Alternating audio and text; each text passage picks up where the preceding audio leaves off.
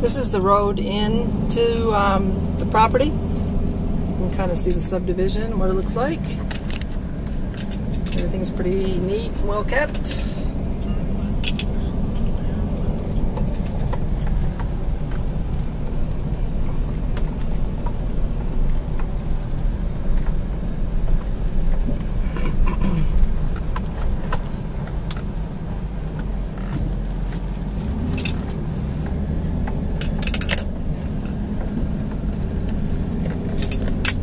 Gated community.